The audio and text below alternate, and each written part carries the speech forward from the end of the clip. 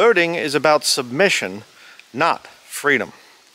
A lot of people think that uh, our military fought and died so that we would have the right to vote, and they think that we, as Americans, one of the ways that you know that you're free is that you have the, the right to vote.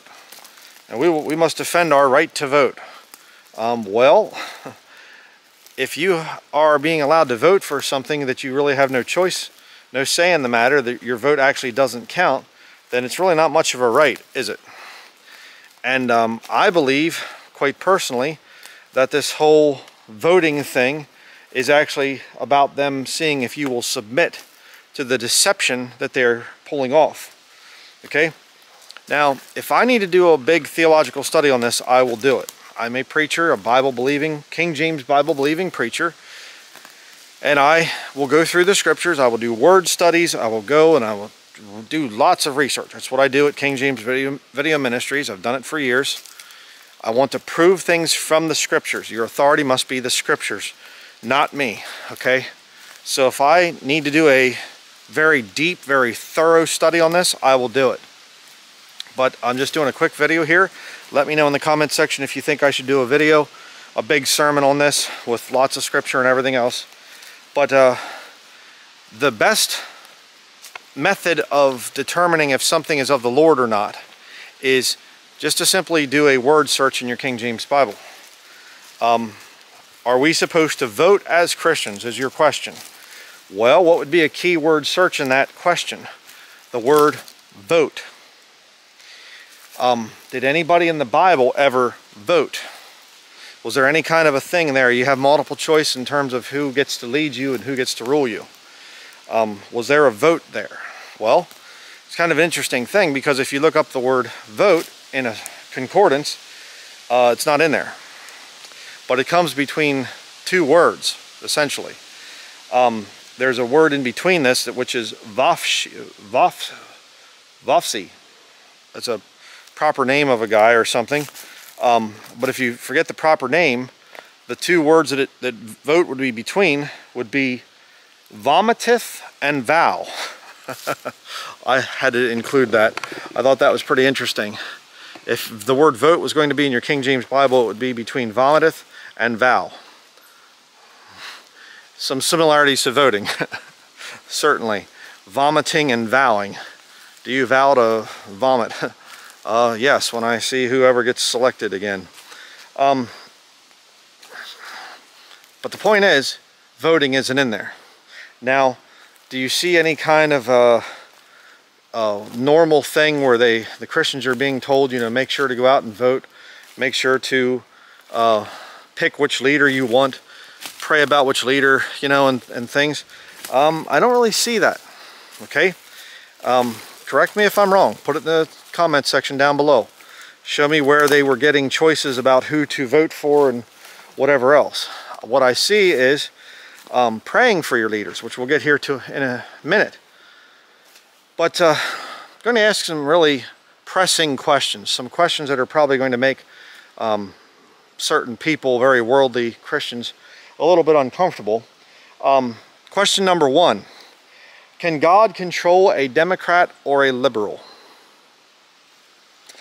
Oh, we just can't let Kamala Harris come in. Don't you remember what she did with the, you know, the Biden administration and uh, whatever else? Um, was God in control? Or did God lose control? Is your God up there in heaven and the Democrats get elected because not enough Christians voted and, and God goes, oh, oh no, oh, I didn't think they were going to win. Oh no, what do I do now? Is that your God? Hmm. Um, question number two. Did Christians vote for Caesar? No. Um, I think the Roman Senate oftentimes would vote for the Caesar. Kind of like the uh, modern day example would be the College of Cardinals votes um, and puts the Pope in. I don't really think it's up to the Catholic faithful, the people themselves, to vote for uh, the best, most qualified pope. Don't really see that. It's more of uh, the College of Cardinals get to decide. Uh, you say well, it's very similar to the ancient imperial Rome, isn't it? Yes, it is.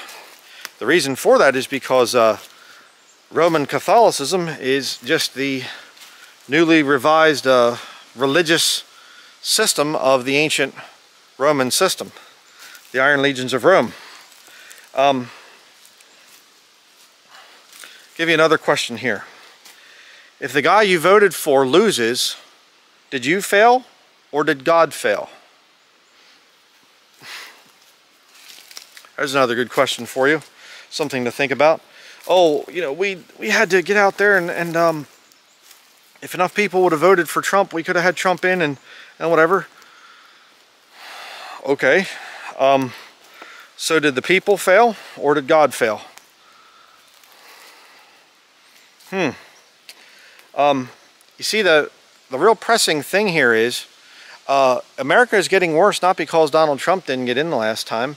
Um, America is getting worse because of personal sin, unrepentant personal sin.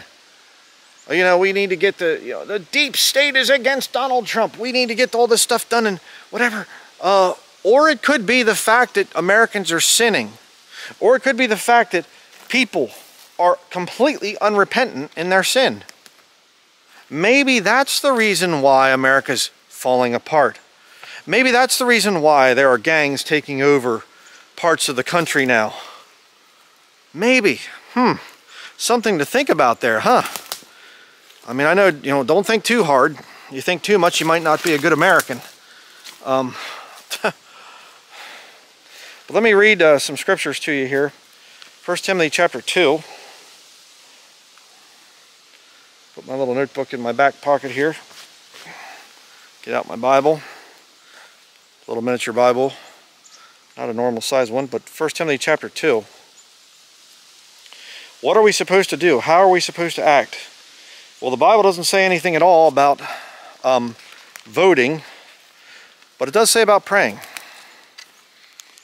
Well, I, I just don't think that that's effective. Or whatever. You don't think prayer is effective? Might want to pray about that.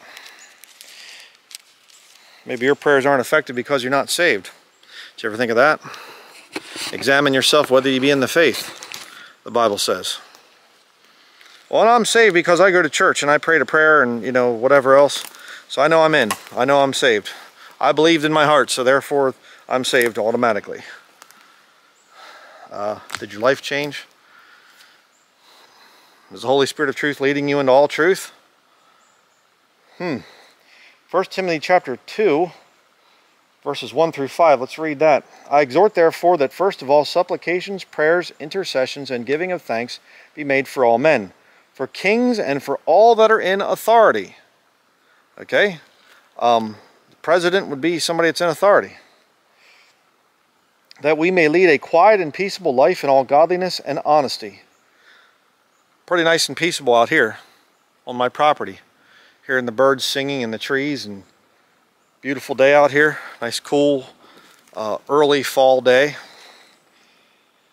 Verse 3 For this is good and acceptable in the sight of God our Savior. God needs to be your Savior, by the way. Um, you say, well, Jesus is my Savior. Yeah, that's exactly it. Jesus is God. uh, if you don't believe that Jesus is God, then you can't have God as your Savior. Think about that. Um, verse 4 Who will have all men to be saved and to come to, unto the knowledge of the truth?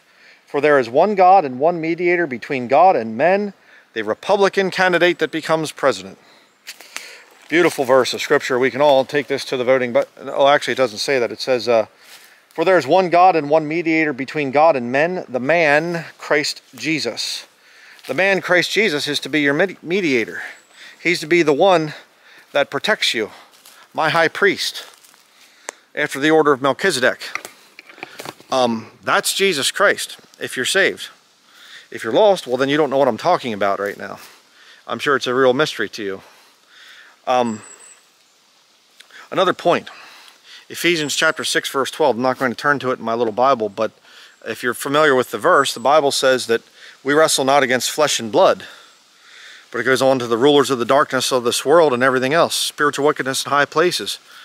Um, then how can you defeat them by getting a guy like Donald Trump? Hmm. It's kind of an interesting thing, isn't it? Um, we wrestle not against flesh and blood, but we can wrestle flesh and uh, the spiritual wickedness with a flesh and blood leader. No, you can't.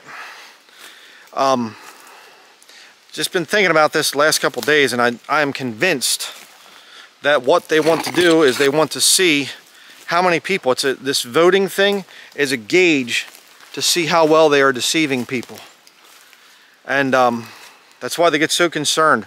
We need your vote. We have to have your vote. Um, they can they can just skew the results and do all kinds of things. Um, I honestly believe 100% that Donald Trump, that the American people voted him in again for a second term last time. And they did their little tweaking and twisting and whatever else. And, uh, oh, Biden won. How could the guy win? I mean, I realize that there are some really idiotic uh, liberals in the city and everything. I get it, but uh, Biden? And uh, look what he did to the country. Yeah, well, Trump's going to do it even worse coming up into the future here. But they need that vote because that way they can see that you're going to submit. And, um, you know, again, people, they misunderstand what I'm trying to say with all of this stuff. And they say, well, then you must be for, uh, you know, Kamala Harris. Uh, no, I'm not. I'm not for her at all. I'm not a, a, liberal Democrat. Well, if you're not for Trump, then you're for her. No, I don't. I'm not for the whole thing. It's a scam. It's all a lie. All right? Uh, I'm not going to fall for it. I don't fall for it. Uh, they come out with all their little, you know, things back and forth and, oh, you know, Kamala Harris, she did this and she didn't protect the border and she's supposed to be the border czar and, you know, I hear all that stuff. I listen to it. But uh, I don't fall for it. I don't believe in it. And quite frankly, I think what's going on is uh, they're getting ready to put Trump in.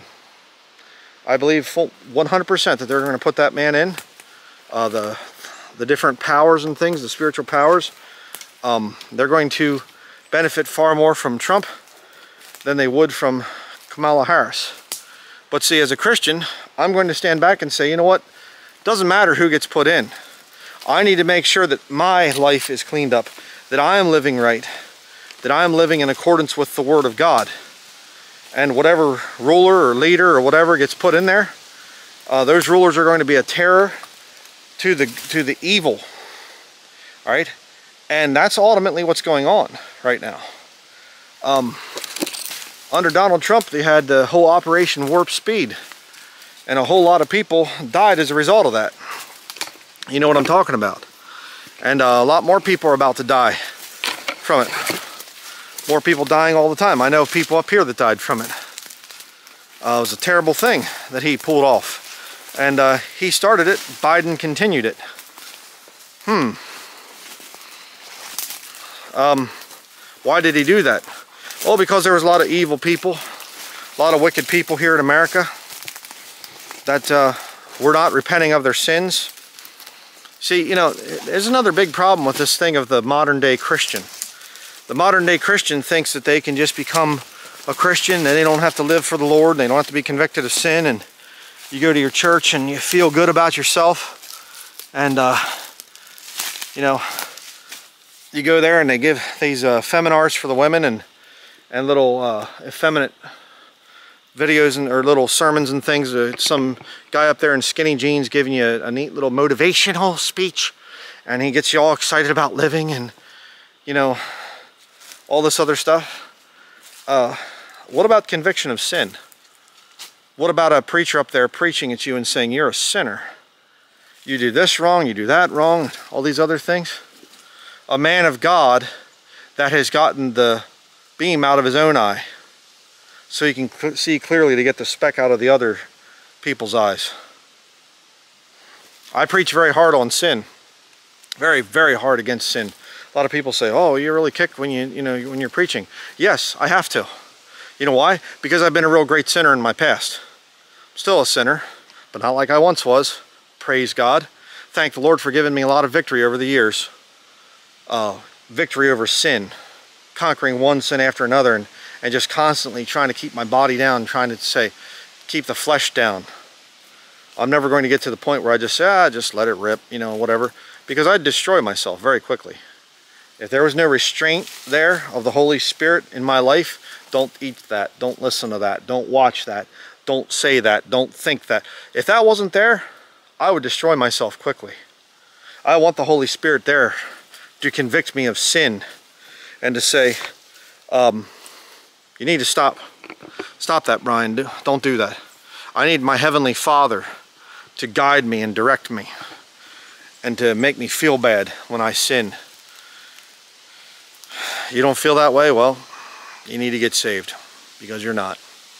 Um, but uh, let me know your thoughts on this whole thing. Uh, I know a lot of you are just convinced that it's your vote is so important. You have to show your support. Well, go ahead. Um, do what you want. I can't convince some people, but I am, but myself personally, I am fully persuaded that that's what, what voting is all about. It's about seeing if you will submit to the lies and the deception that they're putting out, out there. Um, and again, 100% I believe that Donald Trump is going to be, going to be put in, but see, they have to gauge reactions and they have to watch things and whatever else. Uh, the assassination thing was a failure. There were so many problems with that story that they brought out. A lot of people don't trust it, myself included. Uh, there's a whole lot of problems. I mean, just the, the thing, you look at his ear, it looks like mine. You get shot with a 5.56 in the ear, it goes through like that, you're going to have a big sizable hole there. There's no hole. Oh, I'm a quick healer. Yeah, sure. Right, uh-huh. Um, but they're going to pull off more things, but I feel that they'll put Donald Trump in. And the reason I'm going to speak against him is because I want to hold that man's feet to the fire. And I want to hold Christians, just say to Christians, don't trust him. Don't trust him. They put that man in, you better start praying. Because he really uh, did some bad stuff the last time to this country. And he's going to do even worse things in the future. And so will Kamala Harris or whoever else they might bring out before then or Lord only knows what. Um, so that will be it for this video. Just felt that I needed to put this thing out there. Um, if I'm wrong, please correct me in the comments. Does the Bible ever say or insinuate or anything else that we are supposed to vote? All right. Um, that we should be, I mean, I, say well, should we, we shouldn't be involved in the political process. No, I think it's fine for a Christian to run for some kind of an office. That's fine. The Lord calls you to do that. I mean, right now, I don't think you'd ever get into anything of any other than just maybe some local government stuff. But um, what I'm saying is to get yourself all worked up and oh, we have to vote. Oh, it's so important. Your vote means so much this year. Um, I don't really see any scriptural basis for that. But I'll be corrected if I'm wrong put it in the comments section below. From the King James Bible, I'm not interested in your new versions that come from the Vatican. Uh, those things, they change all kinds of stuff, so don't waste your time with those.